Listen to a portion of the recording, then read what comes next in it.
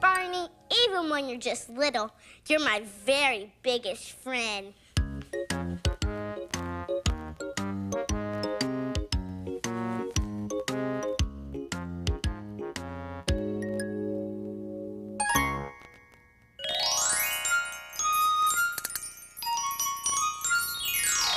Hello again to all my friends. I'm glad you came to play.